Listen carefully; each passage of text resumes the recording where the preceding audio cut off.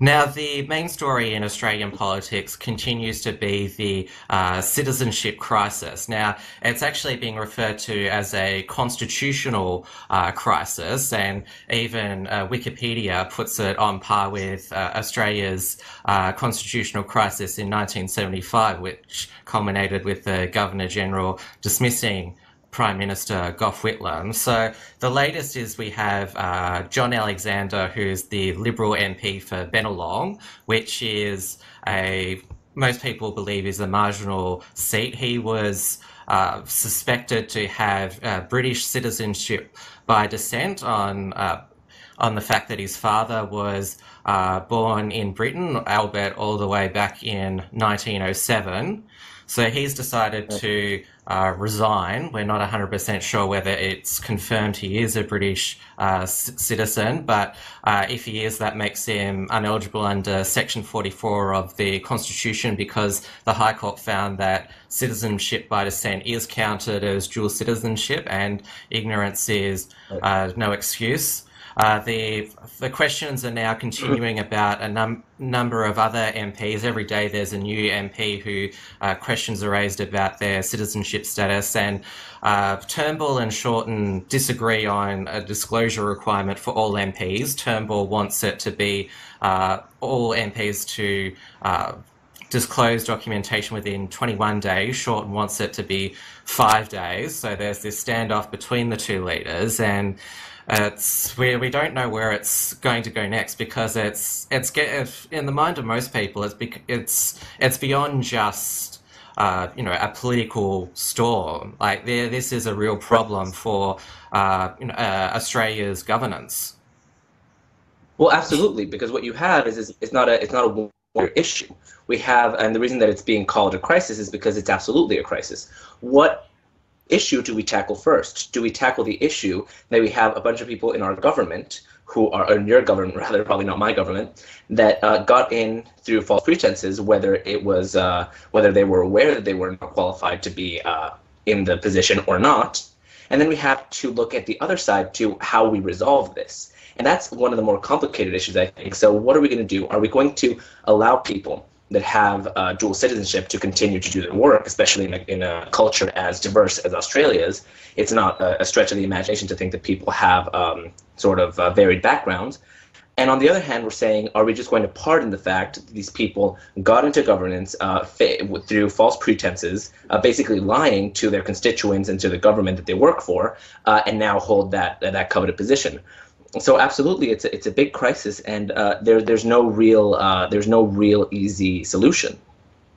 The government can't uh, pardon these MPs because under the, the Constitution, uh, if you're a dual citizen, you're automatically ineligible. So there's nothing that the government or the opposition can do about that. If uh, if an MP is a dual citizen, then they're out. That's the law, of the land. What my, my point was going to be is uh, since it is a constitutional crisis and there probably has to be some legislative uh, solution, uh, what is our best move? Is it to move towards the status quo of getting all the people that were already in the government out, kind of sticking to what um, what the Constitution says, or are we going to change that? Are we going to let people uh, that have dual citizenship uh, start to start to uh, hold office. I think maybe uh, the second one is kind of a more pragmatic approach because uh, I think maybe Australia today is a very different country than it was um, some years ago, especially when the Constitution was written. And right now, it's not a complete stretch of the imagination to think that people that are in government have uh, varied backgrounds. So that's what I meant. Not so much that it's kind of like a presidential pardon. It's like, are we going to change the rules to allow people that don't necessarily have the qualifications today to have the qualifications tomorrow. Well, when the Constitution was written in 1901, Australian citizenship didn't actually exist. That didn't come into effect until uh, 1948, which it's been highlighted that uh, most of these people getting knocked out are British uh, citizens uh, by, uh, by, descent. Uh, and so I, I've made the point maybe we should just abolish uh, Australian citizenship and we were all revert back to being uh, British subjects. yeah, yeah, uh, that, that's probably not the most pragmatic approach, but yeah, yeah, I mean, uh, something has to be done. Uh, and again, what what are we going to do, and how is it going to play to our, to the constituents, to these people's constituents, and to the government? Um, as a whole, if we just decide to allow these people who either blatantly lied or were ignorant to the legislative um, sort of underpinnings of this to remain in office. But then again, how is it going to affect the government to just kind of cleanse all these people, which apparently are a lot, and replace them with people that are just completely 100% Australian? Uh, both sides seem like uh, pretty complicated solutions. What the public wants here is that is they want anyone who's a dual citizen uh, out of the parliament. The the view of the public is, you know, we're all meant to follow the the laws, so you know our politicians should be able to comply with our most basic law, which, which is the constitution. That's why there's been this pressure for uh, an audit of MP citizenship, so we can you know clear this up once and for all, because it's the High Court is now clear that. Uh, citizenship by descent is counts as dual citizenship, and ignorance is is no excuse. And it's and the the reason why um, both Malcolm Turnbull and Bill Shorten have been resisting is because they know they'll lose a whole bunch of uh, MPs. But uh, it's right. it's clear from the the view of the public now that if it does bring down the government, then we've we're, uh, they're prepared for another election to make sure that we have a parliament that is uh, is properly elected with you know people who are eligible to be there.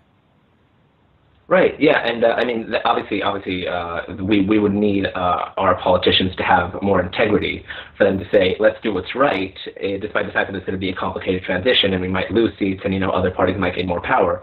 Uh, I don't think that that's something that we can that we can uh, expect from our politicians anytime soon, unless the the, the pressure is enormous. will then work against their interests. for now, I think that, that the, the solutions are not going to be um, that simple.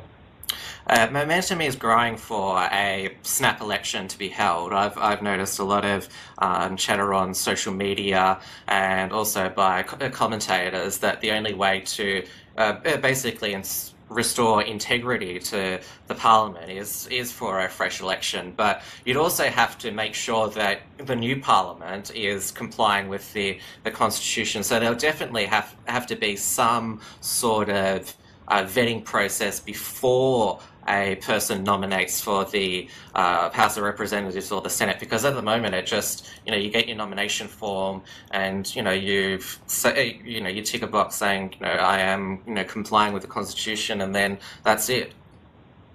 Which seems conveniently uh, simple. Uh, and another thing is that it's not really that simple, right? To check a person's uh, a, a, person's citizenship. It's not it's not like a credit report uh, I don't think you know uh, there, there's a long li- a long list of uh, of people each country has of who's who's their citizen. I mean, so that's another complicated issue. Like, how are we going to make sure that the people in the future are actually not dual citizenships? I mean, uh, dual citizens rather. Uh, how it, it's really a complicated issue because it's not it's not something that you can check uh, check a background for. So it, it's again, uh, we might we might be headed towards a snap election, but not necessarily without these same issues. Yeah, it's a two-step solution. Like we've we've got to find a way to, uh, you know, vet uh, MP, uh, people before they're elected to Parliament, and you know, with the current lot, if there's if there's right. you know twenty or thirty more that are found to be uh, dual citizens, and we need uh, twenty more uh, by-elections, then yes, that's that's when we do need a a gen- general election to make sure that the the integrity is back into Parliament. And it's interesting that the the Greens, who most people have uh, said uh, are the party that have come out of this uh, crisis with the, the most integrity, uh, because you know their uh, senators who were dual citizens uh, resigned immediately. They were one of the first parties to call for an audit. their proposal is quite extreme. They want to see if they can ask the, the Governor General to dissolve Parliament and call a new election, which would be an unprecedented step because the Governor General acts on the advice of the, the Prime Minister, never acts uh, unilaterally. And we, we only saw that happen one time, which was again in 1975. Right. Uh, I guess we could think um, how serious a problem is this, and does it merit such an extreme solution? I don't think so. I think that there are far better solutions that can be taken up. I, I, I would think that one of the things we could do is just to kind of uh, kind of look into uh, the sitting MPs at the moment and vet them um, one by one and then get the ones that shouldn't be there uh, out, and then maybe maybe hold elections for, for those MPs particularly. However, uh, it, it seems it seems a very uh, rash solution to just uh, you know dissolve the whole government uh, and then have uh, a brand new election. It just seems like one of those things that is a pretty extreme solution to an issue which is pretty big, but not quite that big. Well, one one thing's for sure is that uh, the public they they want the politicians to just agree uh, agree to you know compel MPs to provide documentation, and if it means that a whole bunch of you know MPs of your MPs get knocked out, then so be it. Just you know resolve this this process. I think I I think that's what the public is after and I think they're right to be after it, and I think we have to look for a modest and efficient solution as, as opposed to a very extreme uh, sort of crisis solution. This has been an Unshackled Fast. Please like, comment, and subscribe. While you're here, grab our free ebook at theunshackledbattlefield.net and visit theunshackled.net for all the latest news and commentary.